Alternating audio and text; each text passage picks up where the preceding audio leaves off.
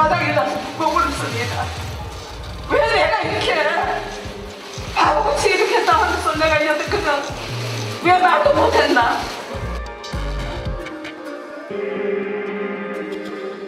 허실을 다해 다 했죠. 30년 동안 열심히 해왔는데 노래 해왔는데 이용 다 했다 이 한- 한 번에 우리 이야기하면 윤명 씨 얼마나 마음 상했어요.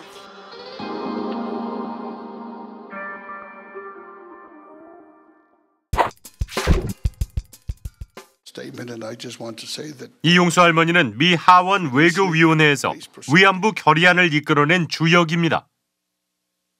저는 저는 한국 사는 이용수입니다. 역사의 산 증언입니다.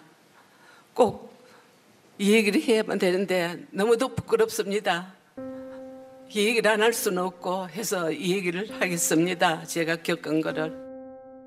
전 세계에 위안부 피해 사실을 알리는데 앞장섰고 일본 정부의 책임을 요구했던 할머니는 피해자를 넘어선 여성 인권 운동가였습니다.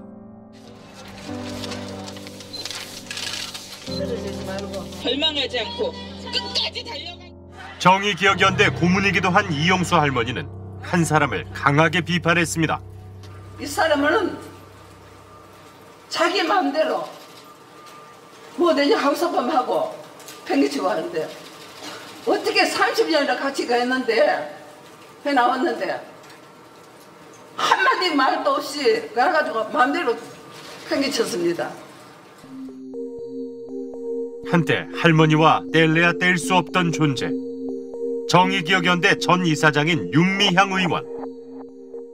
지난 30년 동안 포기하지 않았던 일본군 성노예제 문제 해결, 과거사의 정의로운 해결 꼭 이루고 싶습니다. 문제의 발단은 윤미향 의원이 더불어시민당 비례대표로 출마하면서부터입니다. 할머니가 그 30년 동안 하면서 제일 어쨌던 사람이 윤명 씨가 안 되죠. 그래서 뭐좀 윤명 씨에 대해 가지고는 의지를 많이 했으니까 윤명 씨가 옆에 없으니까 불안하기도 불안하고 섭섭하니까 이제 뭐 그런 말씀이 나는 거고. 아니, 허실을 다해 다 했죠. 30년 동안 열심히 해왔는데 노래 해왔는데 이용 다 했다 이 한- 한 번에 우리 이야기하면 윤명 씨가 얼마나 마음 상했어요.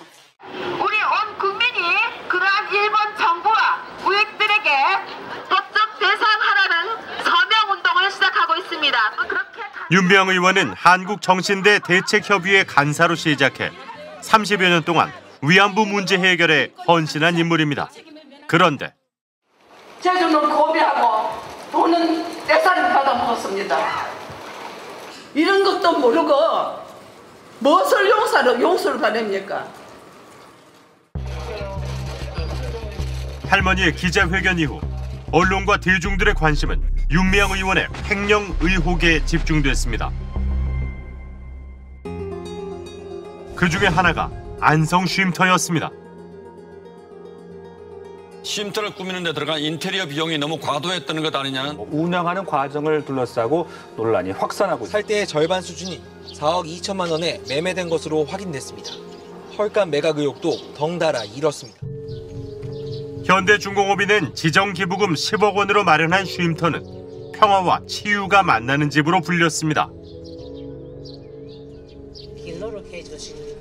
위안부 할머니들을 위한 안정적인 쉼터는 고 김복동 할머니의 바람이었습니다. 정 의원 측은 서울 마포에 있는 박물관 근처 집을 알아보다 사정이 여의치 않자 안성의 주택을 7억 5천만 원에 사들였다고 밝혔습니다.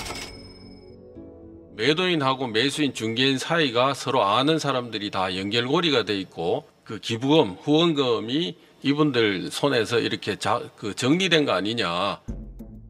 매매 가격이 의혹의 시작이었습니다. 시세보다 비싼 값에 집을 사는 과정에서 윤미향 의원 측이 이득을 봤을 거라는 주장입니다. 당시 주택 소유자는 건축비가 평당 600만이 넘는 스틸하우스 공법으로 지어졌고 토목 및 건축 공사에 총 7억 7천만 원이 들었다면서 9억에 매물로 내놓았던 것입니다.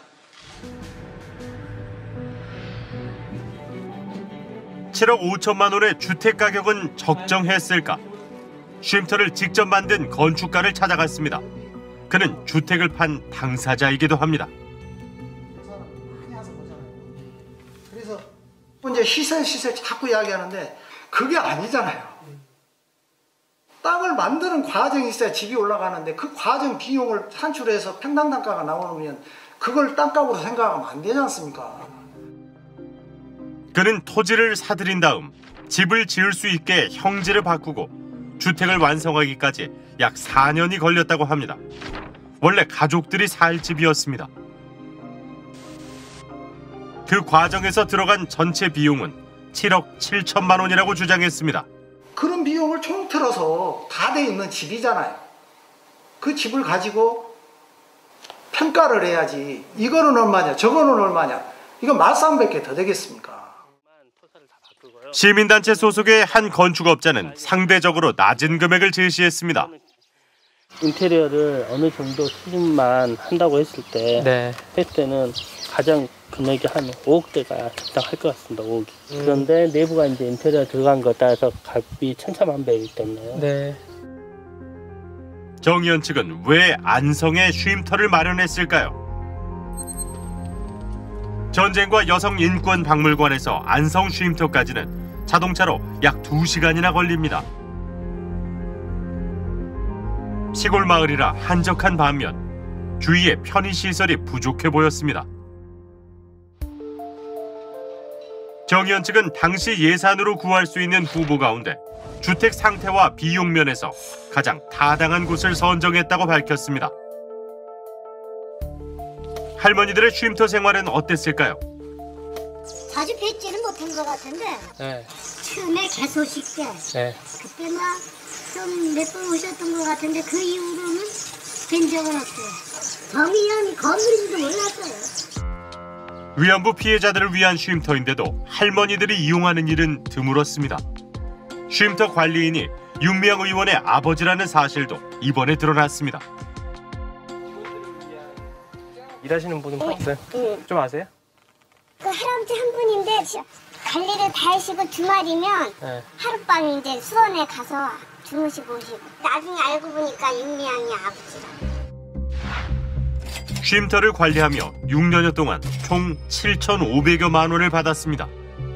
어, 주택을 빈 집으로 어, 관리 없이 어, 놔둘 수 없는 그런 여러 가지 현실 때문에 최소한의 어, 관리를 할 수 있는 방법을 강구하던 끝에 저희 아버지께 부탁을 드렸고 그럼에도 불구하고 어, 저희 친정 아버지를 안성 힐링센터에 직원으로 채용했던 것은 잘못되었다라는 말씀을 드리고요. 쉼터 기부금을 감독한 사회복지 공동 모금회는 경고 조치를 내렸습니다. 생존자 이제 어르신들의 활용률 미흡 등 프로그램 실적이 저조해서 저희가 사업평가 C를 했고요. 결국 2016년 말 사업은 중단됐고 쉼터 매각이 추진됐습니다. 그 결과 올해 4월 산 가격에 한참 밑도는 4억 2천만 원에 매각했습니다. 저희가 이게 7억짜리를 4억에 판매됐다 해서 해명하고는 연계하기는 좀 네. 그렇고요. 네. 문제는 어떻게 7억짜리를 4억에 팔았다는 그 자체가 문제인 것 같아요. 오랫동안 매수 희망자가 없어 시간이 흐르면서 건물 가치가 하락한 점, 또 주변 부동산 가격 변화 등 형성된 시세에 따라 매매 가격이 결정되었고 오랜 시간 매각이 지연되는 점으로 인해 결과적으로 기부금에 손해가 발생한 점에 대하여 저도 너무나 안타깝게 생각합니다. 그러나 힐링센터 매입 및 매각 과정에서 제가 어떠한 부당한 이득을 취하지 않았다라는 점은 분명하고 자신 있게 말씀드릴 수 있습니다. 집을 지은 건축가 역시 불법 행위는 없었다고 강조했습니다. 나는 이제 좋은 일 한다고 또 회사 이미지 홍보한다고 그런 개념으로 줬는데 내가 그걸 또 돈을 주고 그러겠습니까? 그럴 이치도 아니었고 그럴 이유도 없었어요. 그래서 저는 그 커미션 준 적도 없었지만 지금도 생각하니까 가슴이 쓸어내리더라고요. 만약에 줬더라면 어떻게 됐겠어요? 연이어 기부금 의혹이 불거졌습니다. 정의연이 회계 부정을 저질렀다는 논란도 이어졌습니다. 검찰 관계자들이 박스 더미를 들고 나옵니다. 검찰은 정의연과 마포 쉼터를 압수수색했습니다. 일부 언론은 기부금을 하룻밤 술값으로 썼다며 의혹 기사를 쏟아냈습니다. 의혹은 사실일까? 비영리단체 회계 전문가들에게 정의기억연대 결산 서류의 분석을 맡겼습니다. 기부금품 이게 들어와서 어떻게 지출되는 걸 쓴 걸 얘기하는 거예요. 여기가 맥주집이다. 그리고 여기가 3,300 썼다. 근데 이것만 딱 보니까 어, 맥주집에 3,300을 썼다라고 보이는 거죠. 모금 사업을 하는데 대표로 쓴 게 여기에 나갔던 것 중에 하나예요. 그래서 모금 사업비 전체가 3,300이라는 얘기예요. 그래서 이 부분은 100만 원 이상 지출한 거래처이기 때문에 그거 하나만 딱 구분해서 적어야 됩니다. 근데 이제 그게 2019년도 3월 달에 이제 서식이 개정이 됐는데 이 담당자가 숙지를 못한 것 같아요. 그래서 전년도 방식으로 작성을 했고 이제 대표 거래처를 적는 게 맞다 그렇게 인지를 하고 있었거든요. 그래서 작성은 잘못한 건 맞는데 네, 작성은 잘못한 건 맞는데 그렇다고 여기에 맥주집 3,300만 원 썼다고 확정 짓는 것 도 네, 무리한 주장입니다. 모금 활동에도 문제가 제기됐습니다. 윤미향 당시 이사장이 개인 계좌로 기부금을 받은 겁니다. 2012년 나비 기금을 비롯해 고 김복동 할머니의 장례비, 할머니들의 항공 비용 등이 그것입니다. 일시적인 후원금이나 장례비를 모금하기 위해 단, 단체 대표자 개인 명의 계좌가 활용되는 경우가 있었고 저도 크게 문제 의식이 없었던 것 같습니다. 금액에만 문제가 없으면 된다는 안이한 생각으로 행동한 점은 실로 죄송합니다. 비영리 단체에서는 일종의 관행이었다고 지적합니다. 비영리 단체가 모금을 할 때 대부분 대표나 좀 그 앞에 쓴 리더 보고 기부를 많이 해요. 단체를 보고 하기보다. 그거는 이제 내부 통제의 문제죠. 그 돈을 그게 어디에 어떻게 쓸지 모르는데 아예 처음부터 그렇게 섞이지 않게 관리하는 게 맞죠. 그 부분은. 네. 그 부분은 변명의 여지가 없습니다.